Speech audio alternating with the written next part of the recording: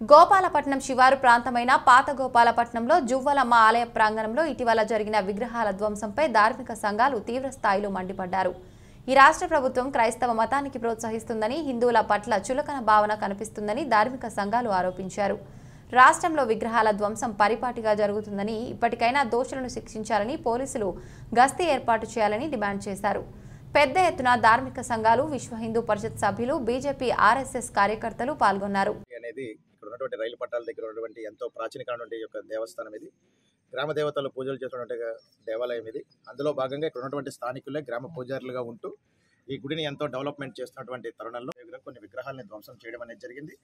అయితే ఇప్పుడు మా యొక్క భారతీయ జనతా పార్టీ అదేవిధంగా విశ్వ హిందూ పరిషత్ ఆర్ఎస్ఎస్ అందరం కలిసి రోజున స్థానికంగా ఉన్నటువంటి పెద్ద నాయకులతో కలిసి రోజున గుడిని సందర్శించడం జరిగింది. ఇక్కడ ఇప్పటివరకు రైలు పట్టాల ధరినున్నటువంటి జువ్వాలమ్మ కోవిల్లో విగ్రహాలు ని పగలగొట్టేశారు అని చెప్పి నిన్న వార్త వినవచ్చింది.